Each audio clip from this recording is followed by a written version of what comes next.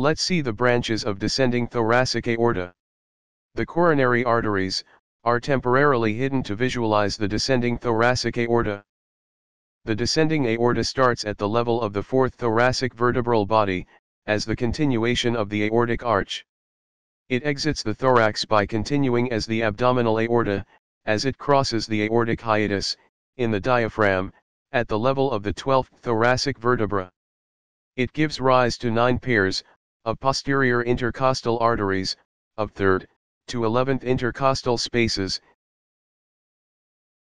It also gives a pair of subcostal artery, and a pair of superior phrenic artery.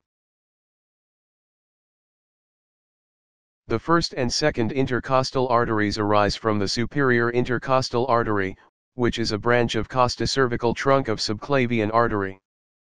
The other branches of descending thoracic aorta are esophageal, mediastinal, and bronchial arteries. There are two bronchial arteries on the left and one on the right.